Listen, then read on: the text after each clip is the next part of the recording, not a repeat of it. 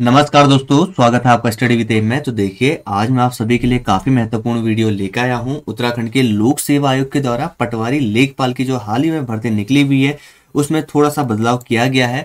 तो ये जो बदलाव किया गया है, वो किसके रिगार्डिंग किया गया है, इन सभी चीज़ों के बारे में हम आज की इस वीडियो पे डिटेल से बात करेंगे। तो आप सभी लोग हमारे इस वीडियो को स्टार्टिंग से लेकर अंत तक ज़रूर देखिएगा। तो चलिए वीडियो स्टार्ट कर लेते हैं। एक छोटा सा रिक्वेस्ट रहेगा स्टार्ट करने से पहले। अगर सब्सक्राइब नहीं किया आप लोगों ने हमारे चैनल को तो ज़रूर सब्सक्राइब कर लीजिए। बेल आइकन ज़रूर प्रेस कर लीजिए ताकि हमारे द्वारा यहाँ पे कोई भी इंपॉर्टेंट न्यूज़ डाली जाती है तो उसका नोटिफिकेशन आपके पास तुरंत पहुँच जाए। आप सभी लोग टेलीग्राम ग्रुप भी ज्वाइन कर सकते हैं। फ़िलहाल बात कर लेते हैं हम आज की इस वीडियो के बारे में।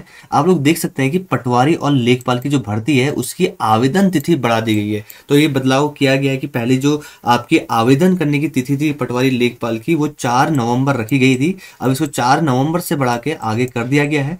पूरी जानकारी देखेंगे हम आज के इस वीडियो में। तो आप सभी लोग बने रहिएगा। देखिए, उत्तराखंड के लोक सेवा आयोग ने पटवारी लेखपाल भर्ती के ऑनलाइन आवेदन की तिथि बढ़ा दी है। अब उम्मीदवार 10 नवंबर तक आवेदन कर सकते हैं। यानी कि अगर आप 4 नवंबर तक इसकी अंतिम डेट रखी गई थी आवेदन करने की। अब इसमें 10 नवंबर तक आप आवेदन कर सकते हैं पटवारी लेखपाल भर्ती के लिए। वहीं भूतपूर्व सैनिकों को भी पटवारी लेखपाल व फॉरेस्ट गार्ड भर्ती में आवेदन को विशेष राहत प्रदान की गई है। राज्य के लोक सेवा आयोग ने 14 अक्टूबर को पटवारी लेखपाल के पाँच पदों पर भर्ती की विज्ञप्ति जारी की थी। इसके आवेदन की जो अंतिम तिथि थी, वो 4 नवंबर रखी गई थी।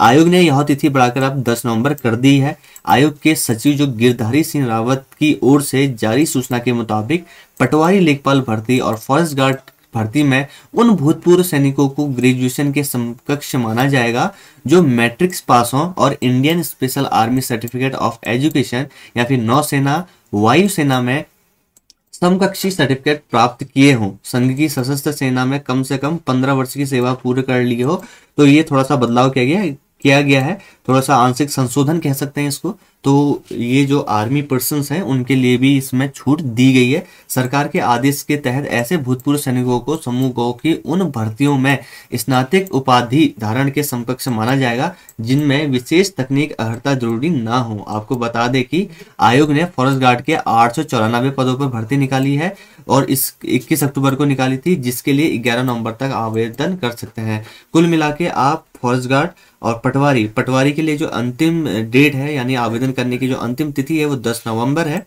और साथ ही साथ आपका जो फॉरेस्ट गार्ड है, उसकी भी जो आवेदन करने की अंतिम तिथि रखी गई है, वो 11 नवंबर रखी गई है। कुल मिला के आप इन तिथियों से पहले ही आवेदन कर लीजिएगा।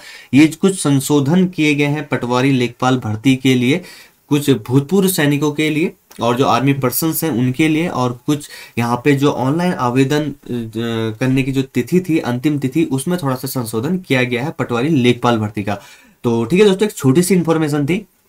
उम्मीद करता हूँ कि आप सभी लोगों को हमारी आज की वीडियो पसंद आएगी। वीडियो पसंद आए तो वीडियो को ज़रूर लाइक कर दीजिएगा और आपके सपोर्ट की काफ़ी ज़रूरत है, इसलिए चैनल को ज़रूर सब्सक्राइब कर लीजिएगा। तो ठीक है दोस्तों, मिलते हैं आप सभी लोगों से नेक्स्ट इंटरेस्टिंग वीडियोस के साथ। तब तक के लिए धन्यवाद।